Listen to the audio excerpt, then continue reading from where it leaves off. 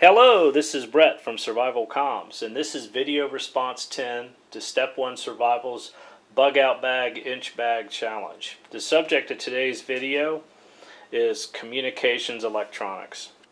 What you see before you is my entire complement of communications assets and battery charging options for my bug out bag. Starting at the top, we have my battery bank, which is also a solar panel. This is not Shasta Cola. This is actually a antenna for my bug out bag radio. I have an extra pair of glasses and this is my charging equipment and of course a smartphone.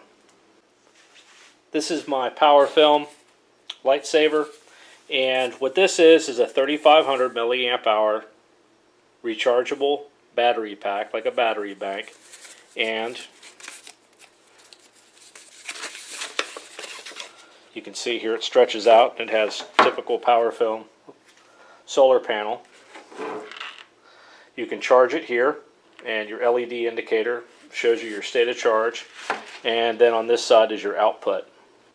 Weight of the Powerfilm Lightsaver is 5 ounces.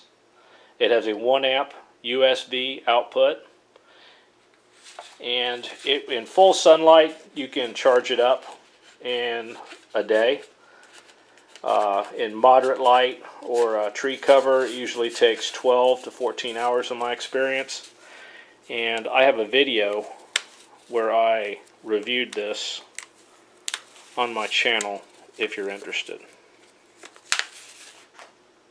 Now in this small stuff sack at a weight of four and a half ounces, I have the balance of my charging equipment here. This is just a, a, a 2 amp output USB charger and a USB charging cable.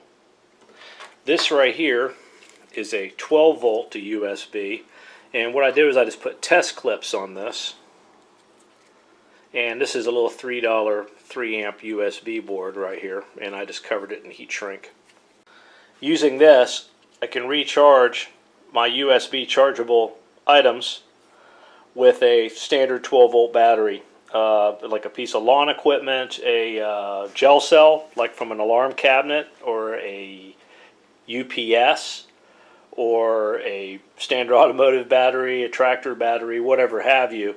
This gives me the flexibility to charge that instead of having something on a cigarette lighter, which would necessitate having an automotive cigarette lighter or DC jack. This is just an 18650 charger right here, and this one is extremely light in weight, and that's the reason why I selected it.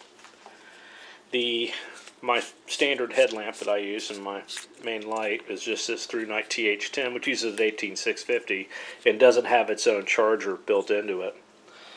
That being the case, what you would do is, is you would charge it with this. Now, you can see when you plug it in, it gives you some feedback to let you know that there's a state of charge on it. And with this device here, you can recharge it off of this right here.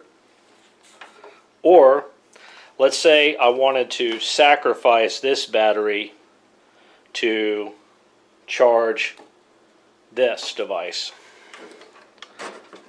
I would merely unplug this place it on the output side of this and then plug it on the input of this right here. And it allows me to discharge this battery to charge this battery. And you can do the same thing with your cellular telephone.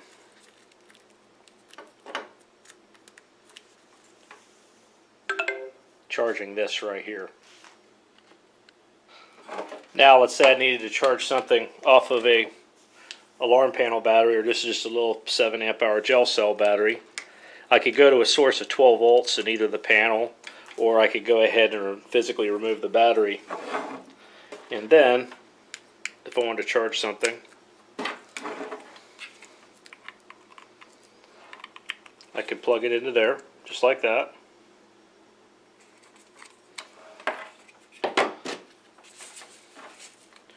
Or into my solar cell.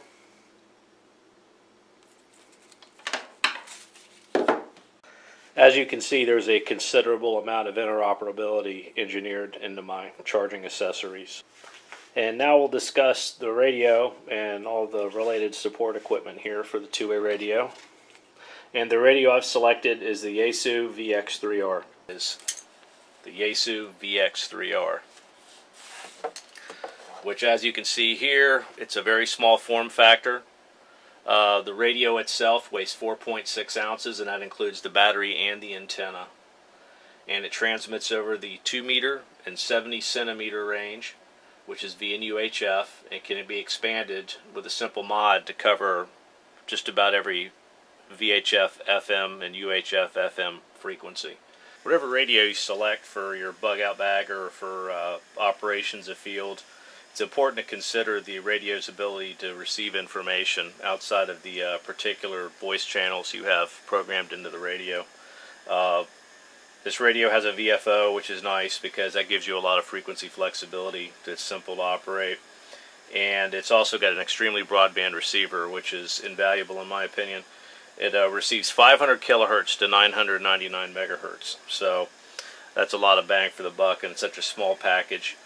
And it receives an AM, FM, and wide FM. Now, being that it does wide FM, we can go ahead and pick up broadcast band audio. So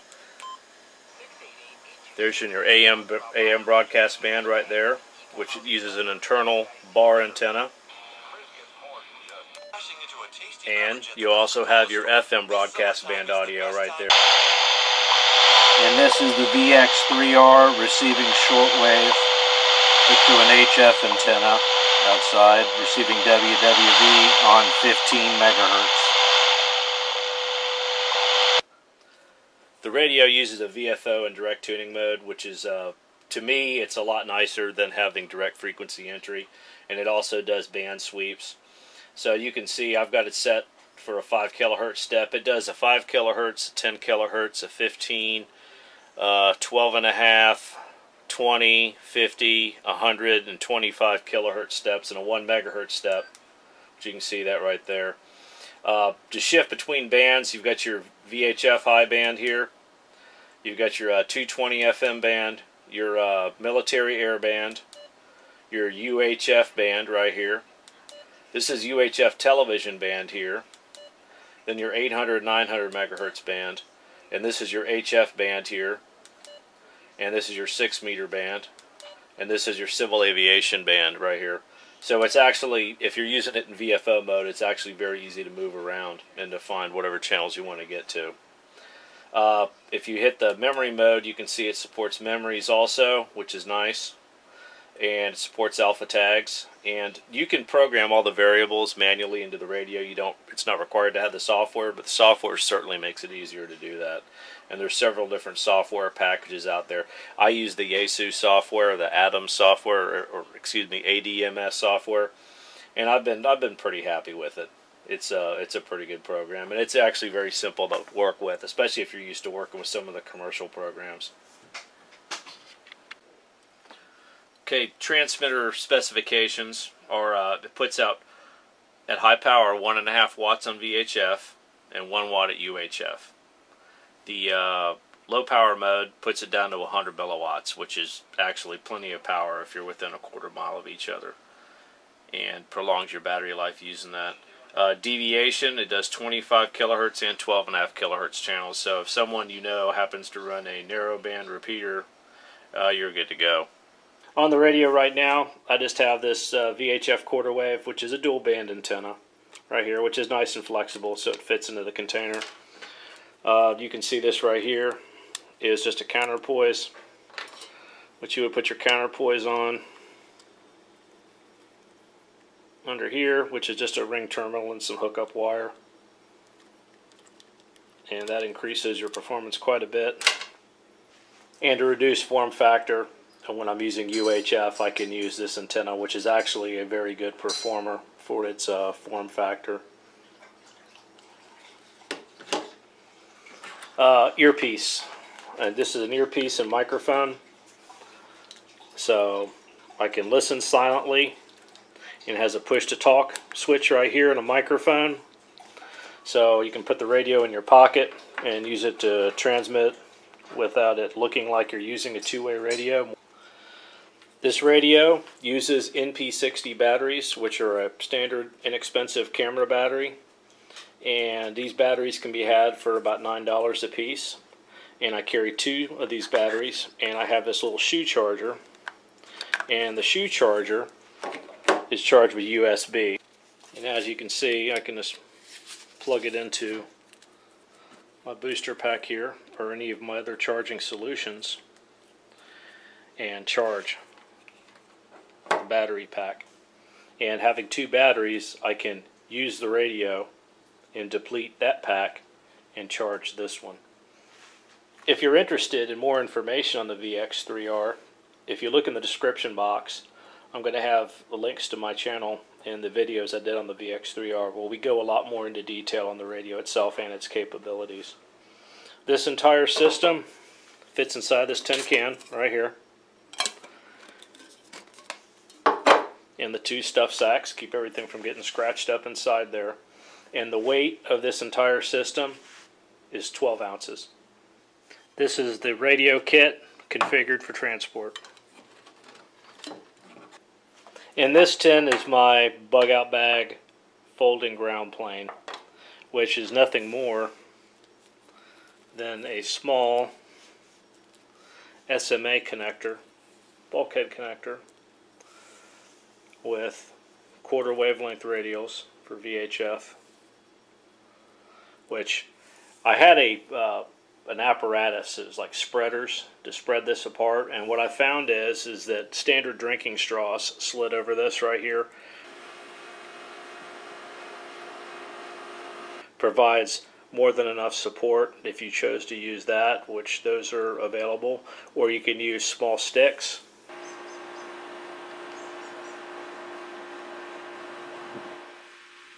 and a tad of duct tape to hold those in place to give it support if so desired. Or if you laid it merely in a bush and spread out your radials, there's a counterpoise.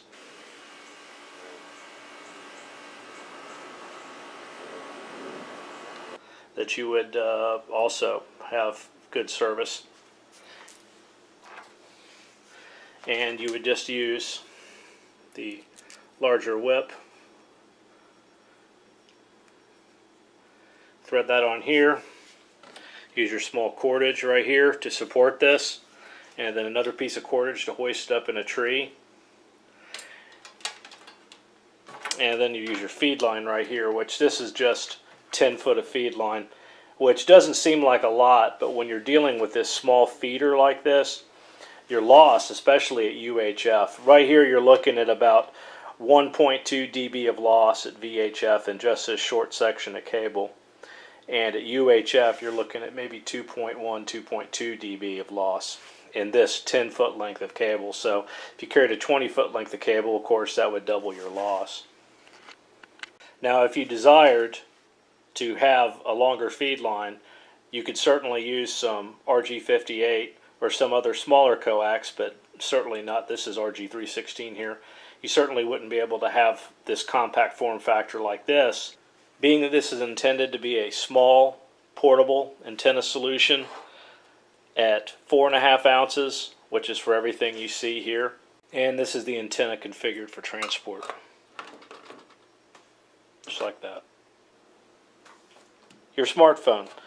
I talked a bit about the smartphone in uh, video response 9, which was the navigation video and the different navigation apps and uh, other capabilities of your smartphone.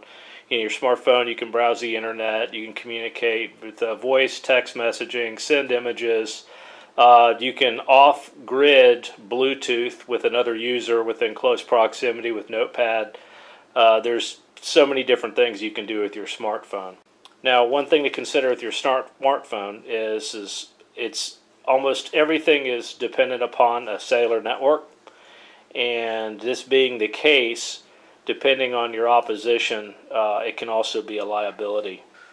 Whenever you're using any kind of communications equipment, it's extremely important to have a communications plan. And what I do is this is my notebook from my navigation equipment. I have devoted a page to this to complan and signal instructions or whatever terminology you like to use. And that being the case, I have a one stop reference for not only my navigation information, my notes, my communications plan, and other relevant information. And last but not least, a spare set of reading glasses for myself. Well, I hope this helps. This is Brett from Survival Comms. Till next time.